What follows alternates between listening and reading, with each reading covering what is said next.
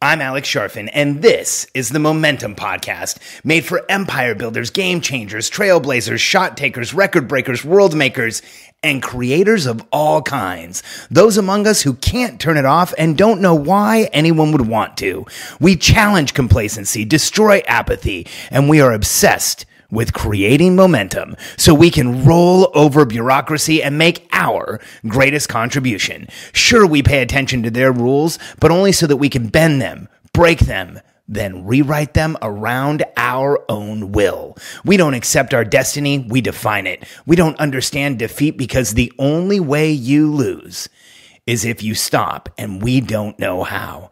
While the rest of the world strives for average and clings desperately to the status quo, we are the minority, the few, who are willing to hallucinate that there could be a better future, and instead of just daydreaming what could be, we endure the vulnerability and exposure it takes to make it real. We are the evolutionary hunters, clearly the most important people in the world because entrepreneurs are the only source of consistent, positive human evolution, and we always will be. Thanks for joining me on episode 47 of the Momentum Podcast for the entrepreneurial personality type How Fight or Flight Mode Can Save You or Destroy Your Momentum. As evolutionary hunters, we are pre programmed, predisposed to be in fight or flight mode. See, people like us, evolutionary hunters, those who are getting up every day to change the status quo, to improve the world around us, to make things better, we are constantly pushing new boundaries. We are exposing ourselves to vulnerability. We're doing new things that make us challenged as people and they cause stress, they cause reactivity, but we can't stop. And what happens is, as evolutionary hunters, as, as people who are programmed like we are, we slip into fight or flight mode. Now, fight or flight mode can save you. This is a physiological, chemical, uh, mental response that we have to the world around us. It is cognitive, it's physiological, physiological, it's chemical, it changes everything about us. See, what happens in fight or flight mode is when we run into a challenge, when we run into something that slows us down, any type of constraint, any type of threat at all, our body temporarily overclocks we become hyper vigilant. We get accelerated. We have a little dump of adrenals, a little dump of thyroid, maybe even some cortisols. We have a short immune period, or sorry, immune boosting period where, uh, for a period of time, we actually get a boost in our immunity and we have increased awareness, increased vigilance of everything around us. It's that hyper alert, hypersensitivity, hyper aware mode that people like us can slip into. Now, throughout history, this has served us. See, you and I were evolutionary hunters who woke up every morning and had to go out and kill something to keep the tribe alive, the tribe alive. However, in today's world, we are exposed to a level of toxicity and stress and input and artificial environments and artificial light and artificial flavors and colors and sweeteners and all kinds of other things that have our body under attack. And the challenge is this coupled with the simple motivations of an evolutionary hunter to create momentum, to create forward progress, to change the world around us, to make things better, can put us into fight or flight mode, and we can just stay there. See, here's the challenge and, and the evidence that people like us are living in fight or flight mode is all around us. Let's deconstruct this just a little so that we can see that factually this is happening to people like you and I. I want you to understand what happens when we stay in fight or flight mode for too long. So what happens when we enter this this physiological phenomena? First, our body uses adrenals, it uses thyroids, it changes our hormone composition to overclock us for a period of time. So if we overclock our adrenals, our thyroids, or home hormones for too long, what happens? Well, you run into things like adrenal fatigue, hormone balance issues, thyroid issues. I mean, we are in a world where, where there is a near epidemic of chronic fatigue, hormone issues, thyroid issues, you know, all kinds of stuff like that. And why? Because we are using this evolutionary system of fight or flight far too much. Many of us are living there. And I understand that there's all kinds of suggestions today for us to get out of this physiological mode of, of existence. People talk about breathing and meditation and nutrition, and I, I agree with all of those things. However, in my experience, there are three foundational habits that you can adopt right now, starting immediately, starting this minute that will knock your body out of the physiological response of fight or flight. Here's my theory and my impassioned belief after observing entrepreneurs for years is that once we're in fight or flight mode, we have a very hard time getting out of it. You probably know this about yourself. Once you get a little overclocked, a little overaccelerated, a little excited, once you feel under threat, it takes us a long time to get out of that condition. I don't think it's like this for the rest of the world. I think the rest of the world can go right back to, to normal a lot easier than we can. But we are evolutionary hunters. We have millennia of responding to fight or flight for thousands of years. This has been something that has kept us alive. It's been honed. It's been increased. It's been sensitized.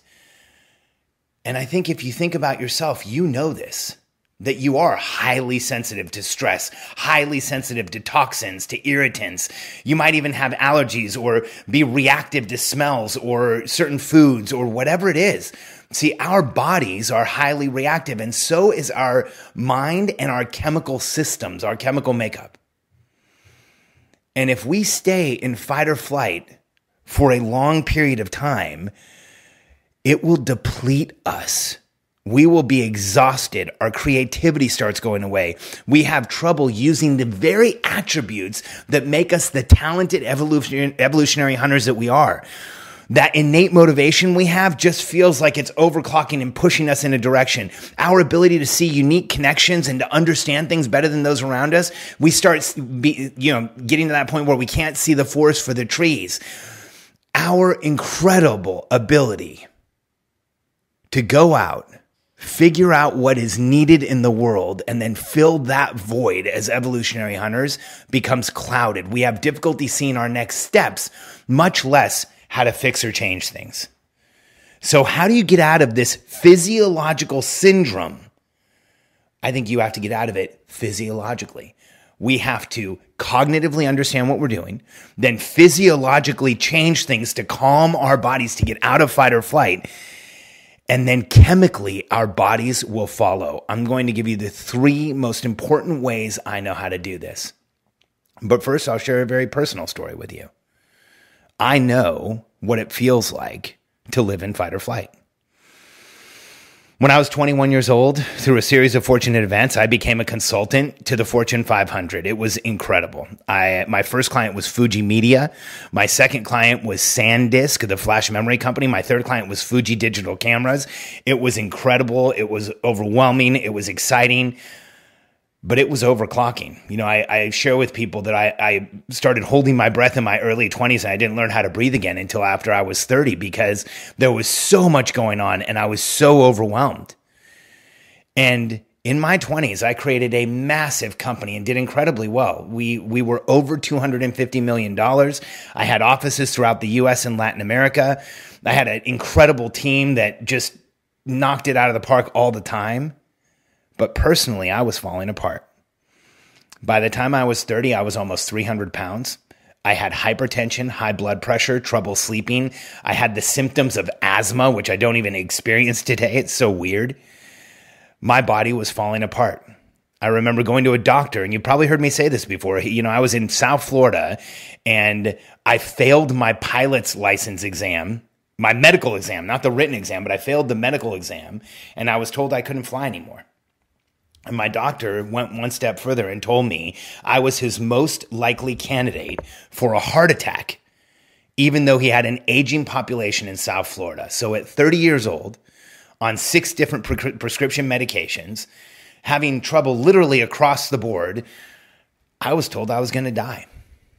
And it went one step further than that. My doctor told me for the rest of my life I would be on cholesterol medication, blood pressure medication, heart medication, uh, hypertension medication. I would probably have to take something to sleep, and I would have to take asthma medication for the rest of my life. So I was given a life sentence of six prescription drugs.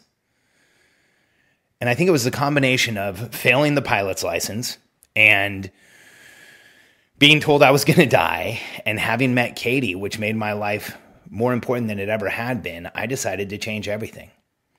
And I decided to get out of the habit of overclocking and, and started researching like crazy. How could I change these conditions in my body? And how could I reverse what I had done, get my feet back on the ground, get rid of the prescription drugs, and create momentum? And that was 15, almost 15 years ago. Um, I'll turn 45 in November 17. And uh, in that ch- time, I've changed everything. I've gotten out of that fight or flight mode. I've been able to regulate my thyroids, my adrenals. I've gotten off of every single prescription drugs that drug that I was taking back then. Uh, I've gotten to the point where that hyper alertness, hyper awareness is there when I want it, but I can make it go away. And I'll share with you three strategies in order of importance to get you out of fight or flight. So, the first one, physiologically, we've got to knock our bodies out of this. Mentally, you can do whatever you want. Cognitively, you can think through this, you can rationalize it. But fight or flight is a physiological syndrome that is triggered cognitively, but it's not rational. So, how do we knock it out? The first one is hyperhydration. Go to episode 26 of this podcast. If you're not hyperhydrating already and taking on water, this is something that will help you get out of fight or flight mode. Here's why organisms, animals, will not drink when they're in a panic mode. If you want rats in a lab to stop drinking water, agitate them, get them frustrated, get them stressed, get them to a place where they are in fight or flight mode and they will not take on water. This is evolutionary. Nature has told us that we should not drink water when we're about to fight. In fact, it's the opposite. Our digestion slows down, our stomach, the, the, the entire like process of taking on water, taking on food slows down or stops and if you're in full flight or flight mode, you'll actually eliminate. You'll wet your pants or defecate to empty your body of any excess weight or anything that it's carrying. So by stopping, taking a deep breath, and drinking over 16 ounces of water, you are physiologically informing your body that you are not in a fight or flight condition. You're not in a fight or flight environment and that it can calm down. It can kick all of the overclocking out. Also, it has the added benefit of increasing your metabolism 30 to 50% for up to two hours. It causes a full system circulatory flush. It'll, it will calm the muscles in your upper body and your torso. It will make you feel more relaxed. Go and drink a big glass of water right now. Get out of fight or flight mode like that. It'll start the process for you. If you start your days with this every morning, you knock yourself out of fight or flight. The second habit you can start right now is to create a morning routine that you understand, that's predictable, that you know what you're going to be doing every morning. So you have clarity around getting up and getting ready for the day. And if your morning routine includes a planning process that connects your day to day activities to your long term goals, to your long term outcomes, that planning process will knock you out of fight or flight. See if that resonates with you. Doesn't that make sense? That when we on a daily basis know what our that that our activities are leading to our long-term outcomes, it relaxes the fight or flight mode. It calms the fight or flight mode. It gets us out of that overclocking mode. That's the second thing. So morning routine that includes planning and collection to long term, eh, connection to long term. And then here's the third one. I'm going to do a full episode on this tomorrow and go into detail because in a previous episode I shared, actually in episode 26, I shared what I think is the biggest biohack for entrepreneurs drinking water. It maximizes everything else you're doing. It lets you take advantage of everything else you're doing, your supplements, your food. If you're dehydrated, it doesn't matter what you're doing, you are not optimized. This is similar. I call it the primal walk. And I'm not going to go into too much detail. I just want you to have the basics because tomorrow I will give you the rest. But here's what a primal walk is it's getting up in the morning as part of your morning routine and getting outside before use of electronics before you've done a lot of other stuff, before you've started that overclocking process, before you've been in too much junk blue light, before you've done too many other things. You do some light planning, understand where you're going, hyperhydrate, and get outside in functional shoes, shoes that let you feel the ground, or just go barefoot. And walk outside on a multi-plane surface, preferably grass, for at least 20 minutes. Here's what science shows that will do for you a walk in natural ground or on natural ground. And now the studies are all over the place. Here's what 20 minutes three times a week will do for you, but I would recommend you do this every day because we're different. We're evolutionary hunters. But the study showed 20 minutes three times a week is as effective as most antidepressants. It improves hormone balance, it improves circulation, it lowers blood pressure, it increases awareness, it even can increase your IQ. Literally, getting up in the morning, going outside, and walking for 20 minutes can make you smarter. Now, I understand that there are those that, that, that you might want to be one of those people that works out in the morning, that wants to get excited, that wants to play the loud music, do those things after you've done the primal walk. Now, I know this sounds painfully simple, but so is hydration, and that's changed most of my clients' lives. And when I suggest to people that they should do this primal walk, some of the responses I get are hilarious. You know, people go from running in marathons and, and being triathletes and getting up and swimming two miles to getting up and before they do anything else, going on the primal walk. And tomorrow, I will give you the specific details of how to do it, where to put your posture, how to spend the time, what you should do, what you absolutely should not do to help you create as much momentum as possible. But I'll just share one story with you. One of my uh, favorite chiropractors in the world, Prab Chekok, who's over in the UK, um, has really gotten into the primal walk. But one of the coolest stories I've ever had shared with me about this discipline is that he got up and he did the primal walk before he ran a marathon.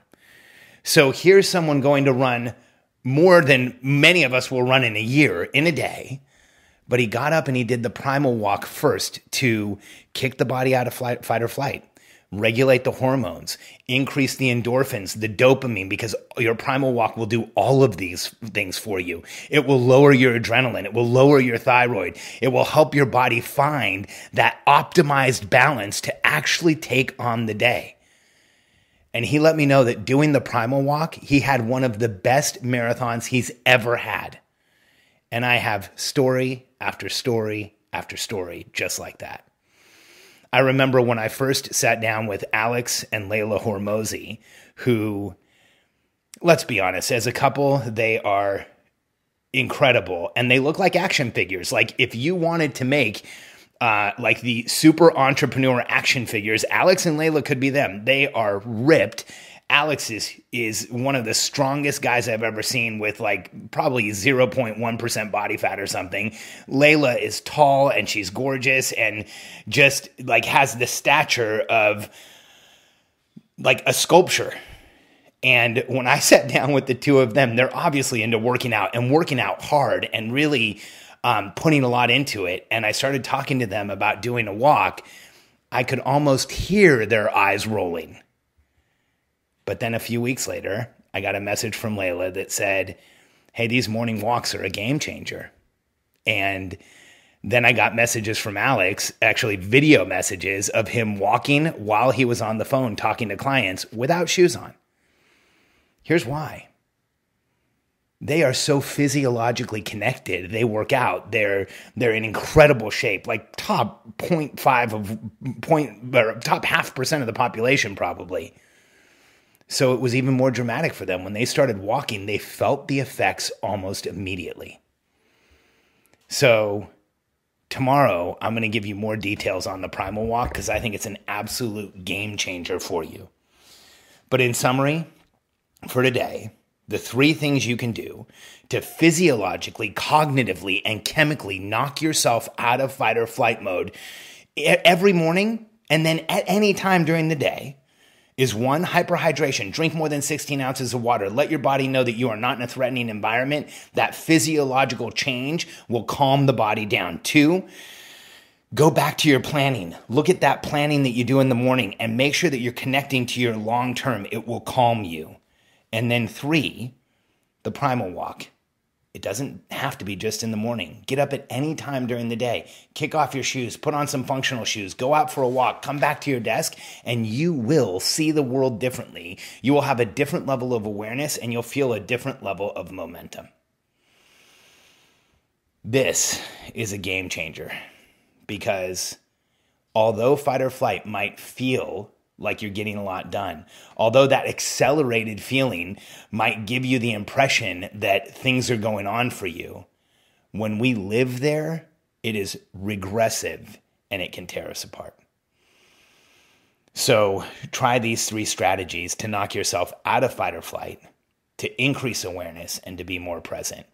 And if you'd like more details on strategies like these, and even more, that will help you create momentum as an entrepreneur, get out of fight or flight mode, and accelerate everything in your life moving forward. Go to momentumwebclass.com.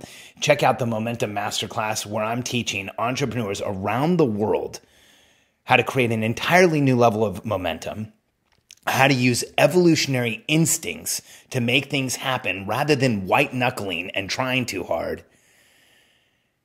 and how to create long term outcomes that you connect right back to the day to day so you always know not only that you are on the hunt as an evolutionary hunter, but you always know you're making progress and you're going in for the kill. I would love to help you and I look forward to seeing you in the class. MomentumWebClass.com. Thanks for being here with me today for episode 47 of the entrepreneur or the Momentum podcast for the entrepreneurial personality type. And uh, check out MomentumWebClass.com when you have a minute. And I look forward to sharing with you tomorrow where we will go into the primal walk, a simple strategy that will literally change everything in your life.